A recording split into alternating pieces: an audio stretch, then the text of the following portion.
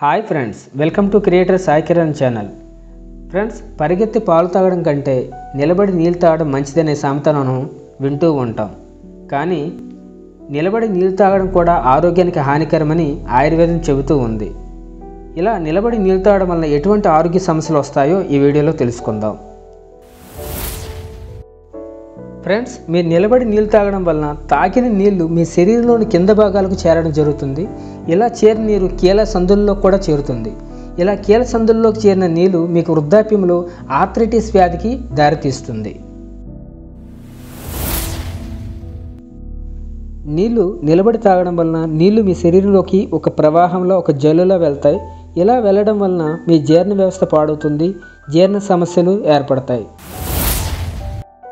Friends మీరు ఇలా నిలబడి తాగడం అనేది మీ కిడ్నీల పైన కూడా ప్రభావం చూపిస్తుంది. ముఖ్యంగా ఇలా నీరు మీరు నిలబడి తాగేటప్పుడు ఆ నీటిని మీ కిడ్నీలు అనేది ప్రాపర్గా ఫిల్టర్ చేసుకోలేవు. దీని కారణంగా మూత్రపిండాలు మరియు మూత్రాశయంలో మలినాలు అనేవి స్టోర్ అయిపోతూ ఉంటాయి. అంతేకాకుండా యూరినరీ ట్రాక్ ఇన్ఫెక్షన్స్ జరిగి కొన్ని సందర్భాల్లో మీ యొక్క కిడ్నీస్ కూడా పూర్తిగా పాడైపోయే అవకాశం కూడా ఉంటుంది.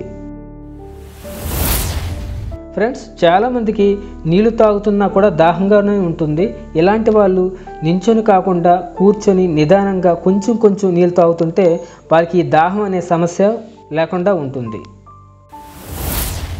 ఫ్రెండ్స్ సాధారణంగా కూర్చునేటప్పుడు శరీరము రిలాక్స్గా ఉంటుంది. అలా కాకుండా నించునేటప్పుడు మన శరీరంలో ఒక రకమైన ఒత్తిడి ఉంటుంది. అలాంటి ఒత్తిడి ఉన్న సందర్భాల్లో మనం నీళ్ళు తాగడం వలన నరాల సమస్యలు వస్తాయి. కాబట్టి కూర్చొని మాత్రమే నీళ్ళు తాగడానికి ప్రయత్నించాలి. ఫ్రెండ్స్ నిల్చొని తాగడం వలన ఇప్పుడు చెప్పుకున్న ఈ వ్యాధులు అనేది వస్తాయి. ఇలాంటి వ్యాధులు రాకుండా ఉండాలనుకుంటే మీరు ఎప్పుడు వాటర్ తాగినా కూర్చొని నిదానంగా మెల్లమెల్లగా నీళ్ళు తాగాలి. ఇలా తాగడం వల్ల ఏమవుతుందంటే మీ శరీరంలోని యాసిడ్ లెవెల్స్ అనేవి బ్యాలెన్స్డ్గా ఉంటాయి. అంటే సమతాస్థితిలో ఉంటాయి.